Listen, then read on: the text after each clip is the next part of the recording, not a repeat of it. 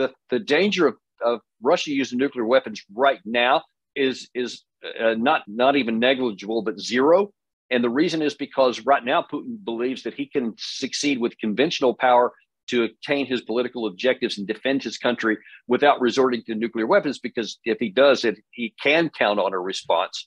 But if somebody like uh, like you know General Hodges gets his way, and if Biden listens to him, and they actually put at risk Ukraine, let's say that we provide you know even more weapons, and, and God forbid we should actually help with troops at some point under whatever guise, and and Russia is actually threatened in their hold of Crimea then the chances of nuclear weapons goes through the roof. Because in my view there is zero chance that putin would ever allow his forces to be driven off of ukraine mm. and not use those weapons. I, I, don't think there's any chance he would withhold that weapon and so it's absurd and futile for us to even try why would we well, when you say use that weapon, are we talking about tactical battlefield uh, uh, yeah. nuclear weapons? It would be tactical battlefield nuclear weapons. Would almost what is certainly a tactical battlefield nuclear weapon? What is it? Actually? It's just another word to say a small one.